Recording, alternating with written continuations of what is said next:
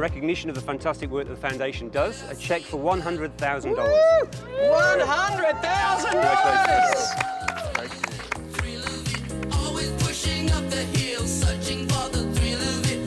We also hand over to Cameron a cheque this year for $64,500. Every year you have around 40 cyclists, firefighters who ride over 800 kilometres and raise money along the way.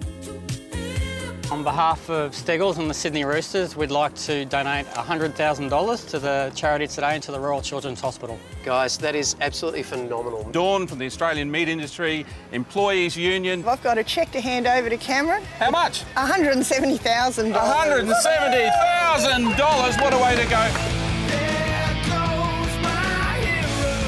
Look, on behalf of the ALH Group, uh, through all the pubs across Queensland, I'd just like to present to the Children's Hospital Foundation a cheque for $100,000. That's fantastic. On behalf of Kennards Hire, we'd like to donate $50,000 from a uh, sponsorship that we've been doing through September and October, where we're donating $2 for every hire.